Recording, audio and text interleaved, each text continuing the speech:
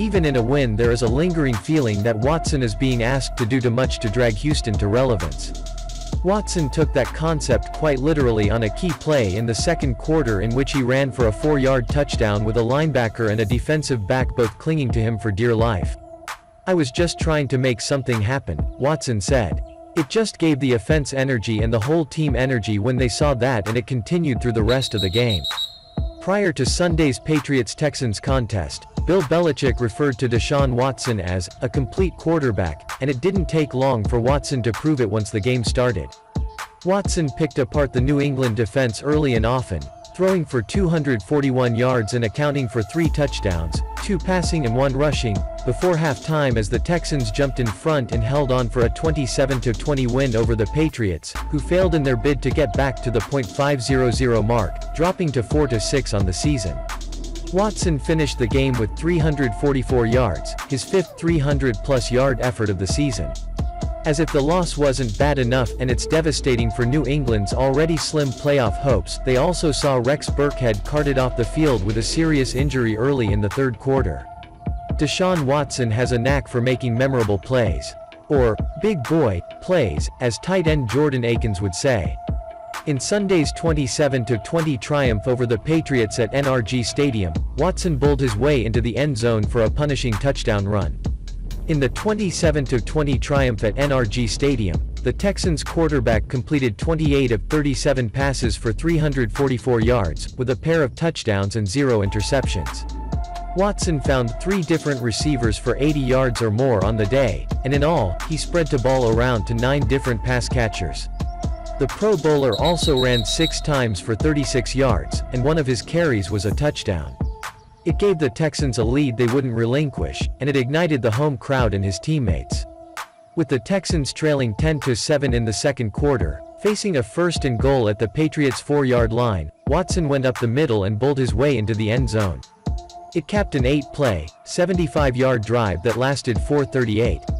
Kaimi Fairbairn's extra point try put Houston up, 14-10 with 3.54 remaining before the half.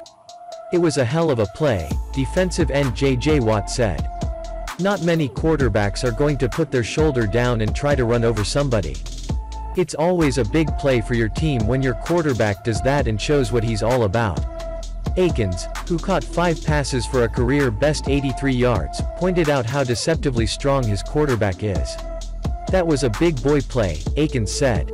That's something I try to do. It was amazing, man.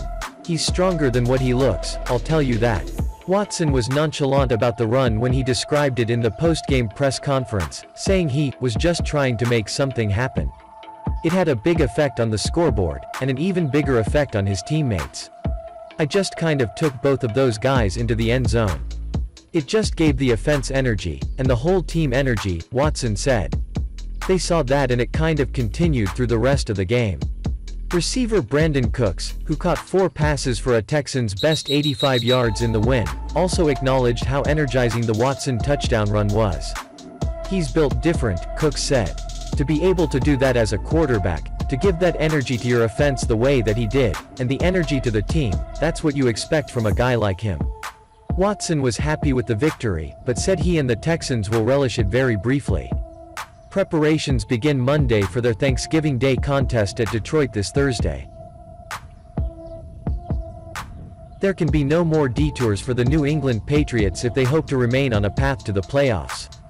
The 11-time defending AFC East champions fell to 4-6 with a 27-20 loss to the Houston Texans on Sunday, leaving them on the verge of missing the postseason for the first time since 2008. That was the last time they played without Tom Brady at quarterback. We've got to find a way to turn it around. Running back James White said after New England, which started out 2-5, snapped a two-game winning streak that, temporarily, at least, revived their playoff hopes. Winners of six Super Bowls and nine AFC titles since 2001, the Patriots are trying to keep their dynasty alive now that Brady has decamped to Tampa Bay. It would be just the third time in coach Bill Belichick's 20 seasons in New England that they have missed the playoffs. If the Patriots are going to make one last run, they'll have to do it without running back Rex Burkhead, who was carted off the field in the third quarter after a knee-to-helmet collision with Texans 3-7 cornerback Bradley Roby.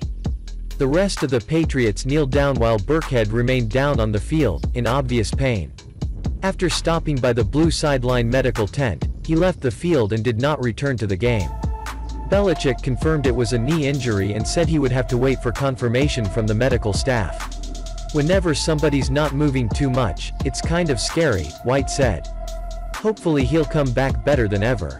He's been making huge plays for us, offense special teams, ever since he's been here. It's tough to see. Burkhead, who scored the game-winning touchdown in the 2019 AFC Championship game against Kansas City, is a versatile back having one of the best years of his career, with a combined 466 yards and 6 touchdowns rushing and receiving. Tackle Isaiah Wynn also left Sunday's game after a couple of players landed on the back of his leg late in the game. The pandemic already cost New England a league-high eight opt-outs, including tackle Marcus Cannon, linebacker Dont'a Hightower and safety Patrick Chung, and injuries have knocked out key contributors such as Julian Edelman. But the biggest loss was Brady, who has the Buccaneers at 7-3 heading into Monday night's game against the Los Angeles Rams. Cam Newton threw for 365 yards and a touchdown on Sunday, but on the Patriots' last real chance he flipped the ball away to avoid a sack on a 4th and 4 from the Houston 25 with 78 seconds to play. I tried to make the most of it, but at the same time that's a good defense, Newton said. That team is not an indication of what their record says. With six games to go, the Patriots have already lost as many games as they have in any entire season since 2002, matching their 2005 and 09 total. Coming up next, the Arizona Cardinals, followed by the Chargers and Rams. And then three straight AFC East opponents to finish the season.